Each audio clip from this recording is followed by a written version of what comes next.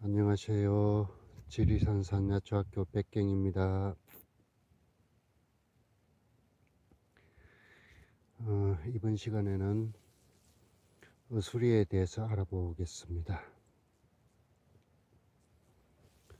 어, 어수리는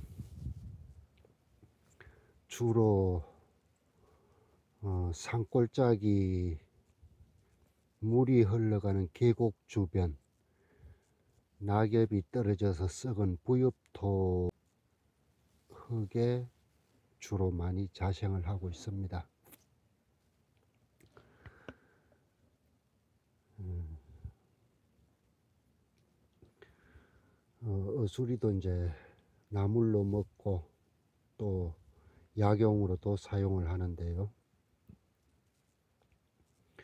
양명은 독활이라고 합니다.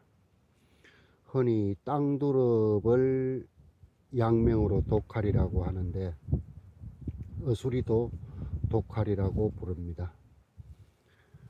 어, 땅두릅이 없을 때는 어수리를 대용약재로도 어, 활용을 하기도 한다고 합니다.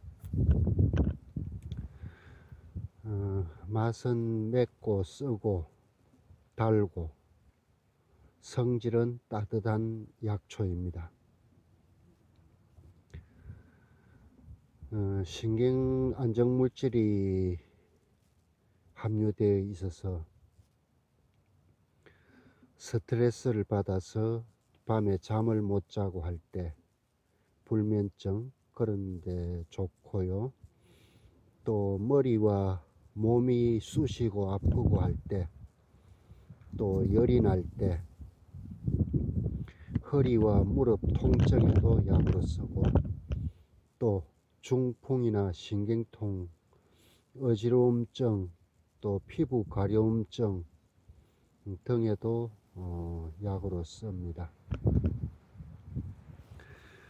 어, 어수리는 특히 향이 좋은 나물인데요. 어, 옛날에 임금님 수라상에 올라가던 나물이라고 해서 어수리라는 이름이 붙었다고 해요.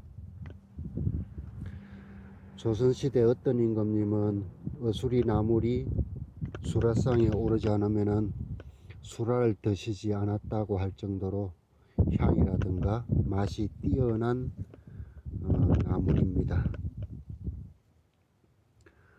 어, 생으로 쌈을 싸 먹어도 좋고 또 이제 삼겹살 같은 고기를 구워 먹을 때 어수리 잎에 싸서 먹으면은 향긋한 향과 돼지고기 특유의 고소함이 어우러져 환상적인 맛을 어, 냅니다.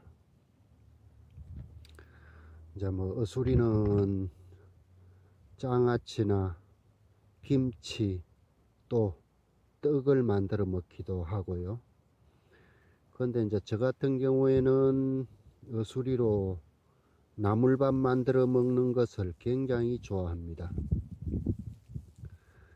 어, 곤드레 나물밥이 유명해지면서 모두들 음, 곤드레 나물밥 먹으려고 뭐 번호표 뽑아서 대기하고 기다렸다가 어, 곤드레 나물밥 먹는다는 말이 있는데 어수리로 나물밥을 지으면은 그 향이라든가 맛이 정말 어, 곤드레 나물밥 같은 경우에는 명암도 못 내밀 정도로 향기롭고 맛있는 나물밥을 지어 먹을 수가 있습니다.